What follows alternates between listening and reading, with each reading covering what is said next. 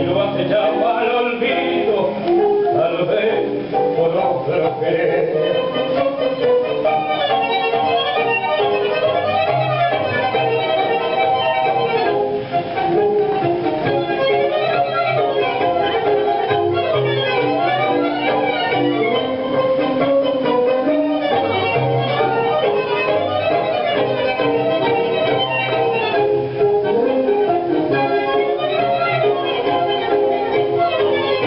Thank you.